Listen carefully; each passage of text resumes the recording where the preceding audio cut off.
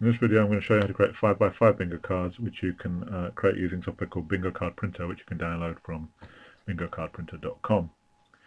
Uh, the program is a Windows program compatible with all recent versions of Windows on the PC. This is what the initial screen looks like. I click uh, create new bingo card project.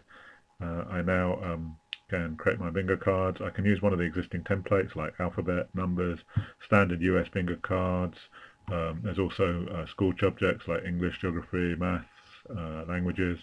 Um, there's events, which I'll just show you, uh, baby shower, birthday, bridal shower, and so forth. Uh, holidays, uh, lots of different holidays here. 4th of July, Canada Day, Chinese New Year, Christmas, and so forth. So we'll start with a blank one though, so I can show you how the software works.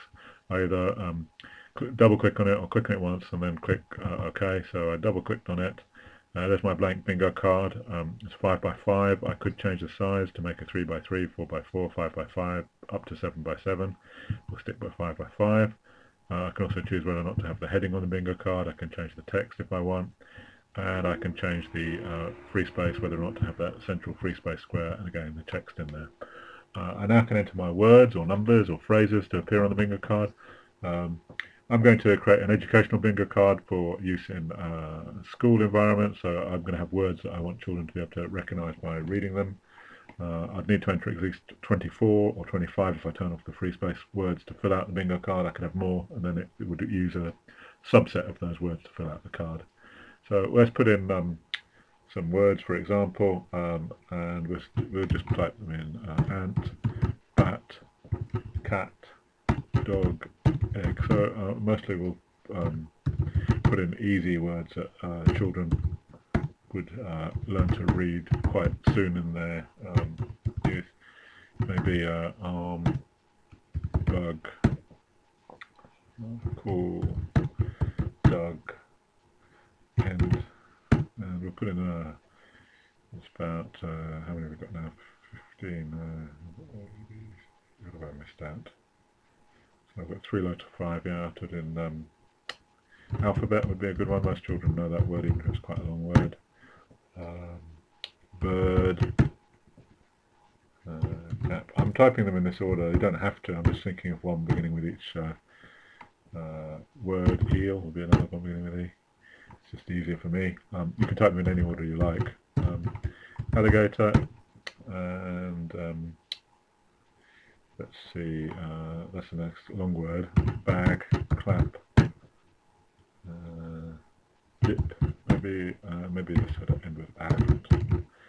There are 25 words. It's enough to fill out the bingo card without the square. And if we look at this card, the, you'll see the words that I entered here are in the same order as this word preview is in the same order as in this list here. Uh, if I change the order in this list, there are functions for moving the words up and down and so on. The preview will uh, reflect that. So for example, if I sort it, you'll see all the A's first, B's first, C's first, uh, and so on. But um, when, when I print the bingo cards, the words will be shuffled about randomly differently on every bingo card. I'll turn this option off here, which I'll explain a bit later, and say print preview, and you can see what I mean here. When I print the bingo card, the words are arranged randomly around the card. Um, so if I want to make it so that the first few words always appear in the first column, the second few in the third, and so on, um, what I need to do is check this option here, organize into columns, and it says here column 1, 2, 3, 4, column 2, so on. Um, and you'll see, because I've got 25 words, there's five possible words in each one, and so I've got the A's, B's, C's. Um, it's a good idea to make the number of words a multiple of um, number of columns if you're going to use this organizing columns. If I do print preview, you'll see it's uh, the card is still randomized, but it's only randomized within the column. So every column has a different random order, but um, the, A's are always in the right place, B's are in the right place, and so on. So that's a choice that you've got. You don't have to use that if you don't want. I'll turn it off for now. Okay, I already mentioned you can change the bingo card's uh, size and uh, whether or not to have the heading and the free space. You can also um, change the colors. Uh, so, for example, I'll change the heading colors. Let's make it uh, the yellow background with uh, blue text. I can change the line colors. Let's make some red lines. I can change the square colors here.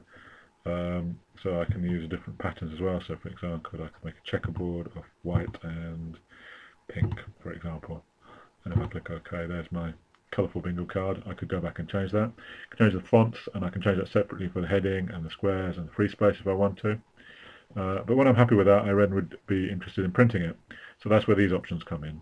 First option here is whether or not to print a call list. Um, basically what that does is it will give you this list of words in random order on a separate sheet. Um, it's very useful if you're using the bingo cards in a classroom situation to have that uh, printed list to refer to. If you don't want it, just uncheck it. I'll turn it on so you can see what it looks like. Second option is how many bingo cards to fit on each page when I print them out. I can put up to uh, four per page. Uh, the advantage I can save paper if I print several per page. I might have to cut the paper up to give one bingo card per player or per student, uh, and each individual bingo card would be smaller, but there's a, a possible advantage there. I'll leave it in one so you can easily see what's um, going on at the moment. And how many bingo cards do I want to print? Now the big power of the software is you can produce lots of different bingo cards with very minimal effort. I can put in as many as I need, up to 9,999. So I'm going to put in uh, 100 as my example, and if I do print preview, you'll see what that looks like. First of all, the call list with a list of words in random order. When I click next, you'll see um, the bingo card with the words arranged randomly. And if I click next again, you'll see the next bingo card is different and so on. Every bingo card contains a different random combination of the words. So that's basically creating 5 by 5 uh, bingo cards. Now I could save the work, continue, uh, and there's also options for um, uh, using the software to help you choose words if you don't want to use a call list. It's called um, play call, call game and it will choose one word at random, show you large here and it will show you the previous items on the left hand side. So when I click next it will choose another random word. So you can see it's choosing words randomly each time I click next and I can always go back and check what items have been chosen before. So that's it. The software is called Bingo Card Printer. Website is bingocardprinter.com. There's a free trial version which you can download and try out for free. If you like it, you can register and upgrade to the full version, which lets you do everything that you've seen in this video and a lot more besides. Um, and so go check it out, Bingo Card Printer on bingocardprinter.com. Thank you very much.